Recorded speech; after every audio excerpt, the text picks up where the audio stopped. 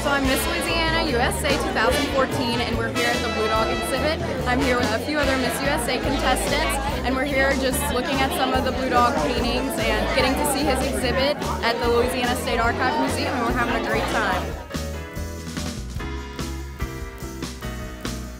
We had this amazing jazz band play on our way inside, which was incredible. Who has that type of experience for an entry?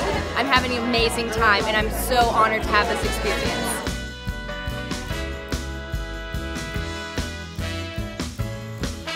Think this one's my favorite.